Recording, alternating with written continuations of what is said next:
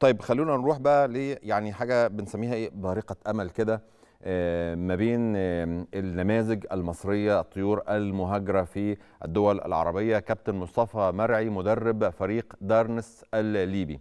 نجاحات المصريين مش بس في الدوري المصري كمان في الدوريات العربية. شفنا أكتر من تجربة.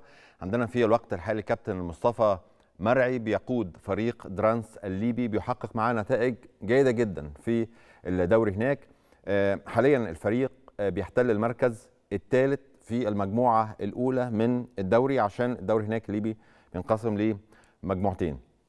الفريق بيمتلك 15 نقطة بفارق نقطة واحدة فقط عن أهلي بنغازي اللي هو متصدر وبنفس عدد النقاط مع فريق النصر إن كان طبعا النصر متفوق بفارق هدفين. الفريق بعد مرور تسع جولات فاز في أربع مباريات تعادل في ثلاث مباريات خسر مبارتين وأحرز تسع أهداف وتلقت شباكه سبع آه، أهداف يعني آه، أرقام مشجعة جدا.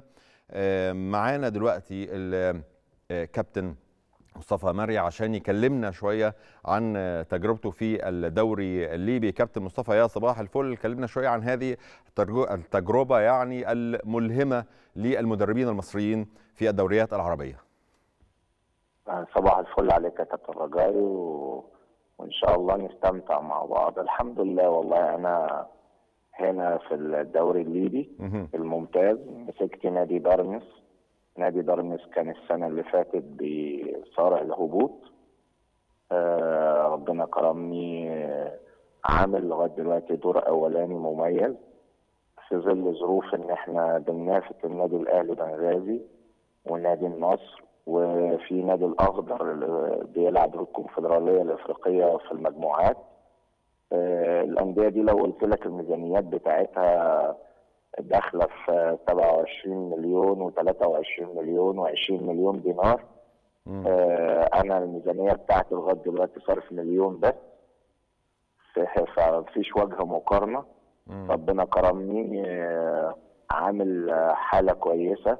نادي دارمس في مدينة درنا آه يمكن شبه فرق بيني وبين النادي الأهلي بونت واحد. مم. دي أرقام يعني كابتن مصطفى معلش إحنا عايزين بس الأرقام دي من يعني لا تمر أمامنا مرور الكرام. الفريق بيصارع على الهبوط الموسم اللي فات. تحت قيادتك هو دلوقتي في الرقم ثلاثة على الدوري في المجموعة بتاعتكم صح كده؟ والميزانية بتاعتكم مقارنة واحد مكرر نعم. والميزانية مليون آه. دولار فقط. مليون دينار. دينار.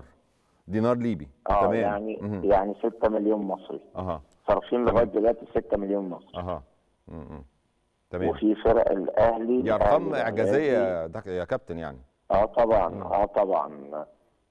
الشغل أنا هقول معلومة ما حدش يعرفها يمكن حضرتك أول حد يعرفها. اتفضل. أنا من ولاد الكابتن مشير عثمان. زي ما كابتن أيمن الرمادي اللي ماسك أسوان وعمل طفرة من ولاد الكابتن مشير عثمان. وعلى فكرة وبميزانية قليلة جدا برضو. يعني في أعتقد تشابه في التجربتين آه. أنا أنا الأول بشكر كابتن مشير عثمان لأن إحنا اتربينا على إيديه في التدريب. م. و... وكابتن أيمن رمادي اتربى على إيد الكابتن مشير عثمان في الإمارات. م. اللي أنا عاوز أقوله لك إحنا لسه دلوقتي بنكتشف كابتن أيمن الرمادي. كابتن أيمن الرمادي دخل في 55 سنة. ولسه بنقول عليه اكتشاف آه الفرق الفرق بيننا وبين أي حد إن هنا الناس بتقدر الشغل بتقدر تعبك مم. بتقدر آه تعبك مش شرط مادة. بتقدر تعبك ومجهودك إن أنت بتنجح. آه خدنا الفرصة بره بره البلد بره بلدنا مم. إحنا مشكلتنا في مصر ما فيش الجراءه. ما عندنا مجالس اداره طب خلينا ربي تمام. خليني أسأل حضرتك سؤال بيدور في الاذهان المصريين اللي موجود اللي موجودين في الدوري الليبي سواء كان مدربين أو لعيبة. تواجدهم شكله عامل إزاي؟ والله إحنا معانا الكابتن محمد عودة. خلي بالك إحنا مشكلتنا بره في الدول العربية أو دول الخليج يعني إحنا الدوري هنا الليبي المجموعتين. شبه كلهم مدربين توانسة آه تجربتي خلت آه، نادي الهلال يتعاقد مع الكابتن محمد عوده الاتجاه بقى دلوقتي إن إحنا كل ثلاث أرباع الدوري الليبي دلوقتي بيقول لك المدرب المصري ناجح ده عظيم آه، جدا تجربة. ملهمة يعني. آه الحمد لله عودة كان جاي برضو مسك فرقة الهلال. كانت آه، ما حلفهاش الحظ مع مدرب تونسي. آه، ربنا كرمه جه دلوقتي بقى سادس في الدوري الليبي تمام آه، في نفس المجموعة بتاعت الأولى تمام فإحنا إحنا إحنا عنوان لمصر مم. بنحاول زي ما. كابتن طارق مصطفى في المغرب مم.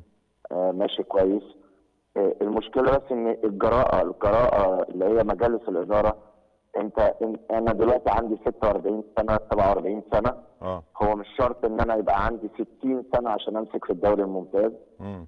آه، إحنا بنبقى محتاجين الفرصة. مصر مليانة كفاءات مهم. ومليانة مدربين كويسة غيري كمان. تمام. فهي بتبقى محتاجة من مجالس الإدارة الشجاعة عظيم إنه يدي جدا. الفرصة وما يخافش بما إنه بيدي الفرصة عظيم جدا. طب- للكبير. مم.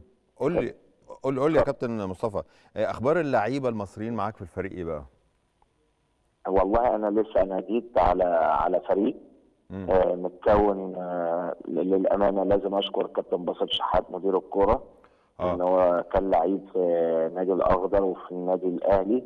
جه واشتغل معايا في قبل كده في نادي الأخضر من آه، 2015 تمام فهو كان مقتنع بقدراته الفنية وجابني لنادي دارنس هو اللي كون الفريق فاحنا ما كناش لسه جبنا مصريين يعني لكن جبنا فرانك اللي هو كان في نادي الجيش. آه، قعد لعب ست سنين في نادي الجيش مم. وعامل موسم مميز فرانك بتاع نادي الجيش لعيب الكونغولي. بس يعني هل في في المستقبل مثلا آه، يعني آه، مراكز انت عايز تعززها بلعيبة مصريين من الدوري آه آه آه آه. آه أكيد طبعا أكيد حاطين عينينا على لعيبة مصرية. في, يناير. في لعيبة مميزة كتير. ده كمان ومش شرط برضو من الدوري الممتاز. مم. ممكن يبقى لعيب مميز في الممتاز ده لأن كل لعيبة الدوري الممتاز لعبت ممتاز ده. مم. وكل ال- الاكتشافات اللي طلعت آه، زي حسين الشحات آه، اكتشفوا كابتن وائل فؤاد ولما كان في الشرقية للدخان. ده حقيقي.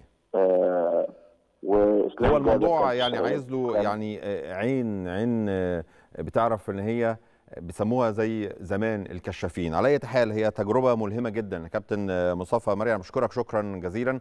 أنا بتمنى لك كل التوفيق في التجربة دي.